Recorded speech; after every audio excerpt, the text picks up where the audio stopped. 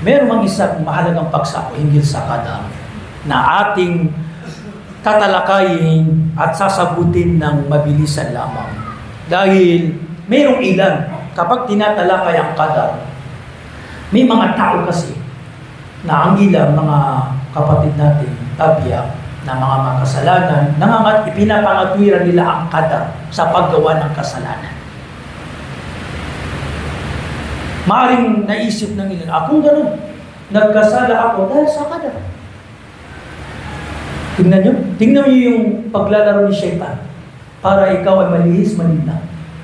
Pwede bang ipangatwira? Pinag-usapan to ng ating mga ulama. Pwede bang ipangatwira ang kadar sa paggawa ng kasalanan? Tama ba yung sinasabi ng ilan na, ah, hindi ako nakapagsala? Ito, dahil ito, kadar. Ah, nagzina ako, dahil ito, kadar. Bakit niyo ako sisisihin? Bakit niyo ako sisitahin? Ito ang kadar.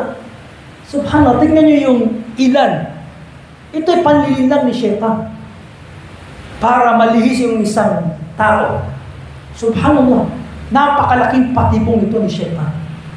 Mali po at hindi pwede, ito ang sagot, hindi pwedeng ipangatwiran ang kada sa paggawa ng kasalanan.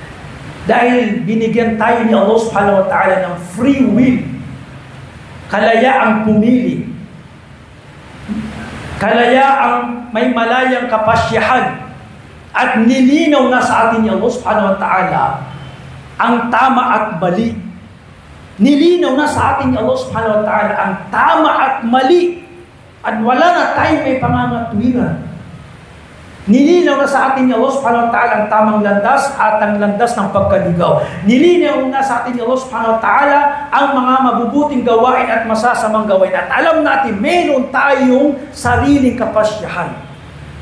Alam natin, tama, na lahat ng nangyayari ay ayon sa kapasyahan ni Allah, pero nangyayari yung gawain depende sa ating intensyon, sa ating sa ating desire, sa ating kagustuhan. Pinangyari ni Allah subhanahu wa ta'ala, pero batay sa iyong intensyon, ikaw ang gumawa nun. Sa iyo na ini-address ang isang gawain, hindi kay Allah subhanahu wa ta'ala, iyadamillah. Nagsala ka dahil sa kagustuhan mo. Gumawa ka ng kasalanan dahil sa kagusto. Pinangyari ni Allah sa kapahintulutan nila pero batay sa iyong intensyon, batay sa iyong kagustuhan dahil meron tayong free will, sariling kapasyahan. Alam natin ang mabuti, alam natin ang masama. Hindi kapag gumawa ka ng masama, ipangangatwira mo si Allah. Kaya sabi ng mga ulama, itong mga tao ito, na mga pilosopo, sa paggawa ng masama nila, ipinangangatwiran ng kadar. Sa mabuting gawa, hindi nila pinangangatwiran. Bakit hindi kayo gumawa ng kabutihan at ipangatiran niyo ang kadar? Magsala ka, ito ay kadar. Pero bakit lang sa kasamaan mo ipinangangatwiran para ma-justify ang iyong paggawa ng kasalanan? Iyadang billah. Iyadang billah.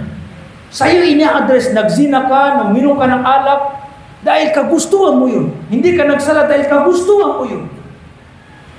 Yun ang gusto mo, naisip mo.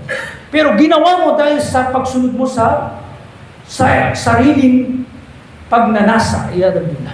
Kaya nga may nangyari, isang isang kwento na dito natin tatapusin. Sa panahon din ni Umar bin Khattab radhiallahu anhu, merong isang lalaking nagnakaw. Nagnakaw. At alam natin, ayon sa kondisyon, may batas ng Islam kung kailangan putulin, puputulin ang kamay. Ngayon, itong taong itong nagnakaw sa panahon ni Omar, ikalawang khalifa, pilosopo, pilosopong tao, sabi niya, Ya Omar, Ya Khalifa, bakit nyo ako papatawan, papatawan ng pagpuputulin yung aking kamay? Samantalang ito ay kadar. Pilosopo, ito ay kadar. Bakit nyo ako sisisihin? Nagawa ko ito dahil ito'y kadar. Alam ni Allah, nakasulat na. Gino, kapasyahan ni Allah. Pilosopo, namimilosopo. Sabi ni Omar, matalinhagang sagot. Sabi ni Omar, kung gano'n, no, ikaw nga ay nagnakaw ayon sa kada. Ngayon, napatunayan at ayon sa mga kondisyon na kailangan kang putulin ng kamay. Kailangan putulin ang iyong kamay. Puputulin namin, ipapataw namin sa iyong kaparusahan. Pagputol ng kamay ayon din sa kadar ni Allah subhanahu wa ta'ala. Subhanallah. Ipinangatwiran niya ang kadar, ipinangatwiran din ni Umar yung kadar. Nakasulat na ikaw ay magnanakaw. Kung ganun, nakasulat din sa iyong kadar na mapuputulan ng, ng kamay dahil ikaw ay nagnakaw. Subhanallah. Yan ang isa sa kasagutan ni Omar na hindi pwede po ipangatwiran ang kadar sa paggawa ng kasalanan. Dahil mes, bawat isa may free will, malayang kapag, pagpapasya, pagpipili.